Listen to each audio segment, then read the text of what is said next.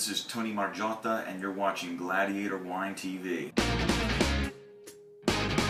Today, I'm going to introduce to you another wine that's in the Gladiator wine portfolio. This is a Negroamaro from Puglia.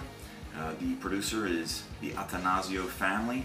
They've been in Puglia producing Negroamaro and Primitivo wines uh, for the last uh, three generations. Negroamaro is a native grape to the region of Puglia and Puglia is the little heel. If you look at the map of Italy, it's the heel of the Italian boot. That's where this wine comes from.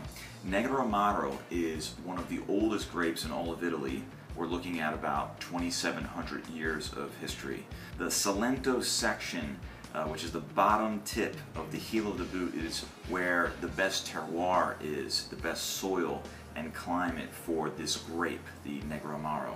Most likely the ancient Greeks uh, brought this grape to the peninsula, the Salento Peninsula, about 2,700 years ago. What does this wine taste like? Um, one thing you're going to notice, and I'm going to pour uh, a glass in a second, um, as soon as the wine comes out, you start to smell this incredible aroma. It's a very aromatic wine. Um, you get a little bit of honey on the nose and you get some dark fruits that but mature, not those sour blackberries that we're used to in the States, but just imagine um, a, sweeter type of blackberry, very mature. Negroamaro, when it's done right, is very aromatic. Its flavor, it tastes like, same deal. You're not going to get the honey though. You're going to get dark fruits on the palate as soon as it hits your mouth. There's not going to be anything sour in this wine. Um, I think we've gotten so used to drinking all these sour note red wines that um, we don't know what's out there. And the key is having a small producer, a producer who spends the time in the vineyard and takes care of it and picks the grape at the right moment of maturity. This is a big difference between a small producer and a big producer and only allow the healthy grapes to enter the wine cellar for uh, making wine. So now we're going to pour the uh, Negroamaro into the glass so you can take a look at its color.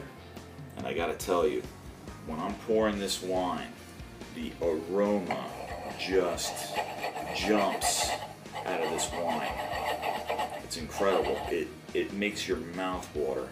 Let's go for the sip.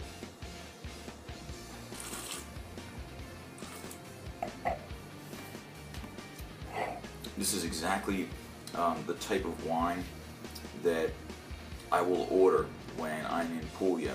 When I go to any of the restaurants, this is exactly what I drink. It's that wine that we had in Italy that was so great, but when we get back to the States, we can't find anything like it.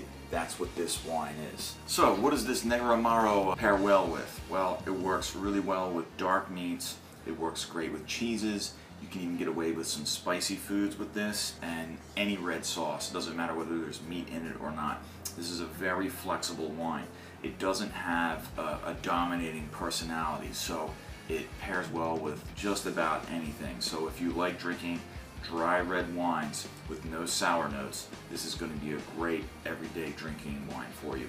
So, Negroamaro. Until next time, I'm Tony Margiotta, and you're watching Gladiator Wine TV.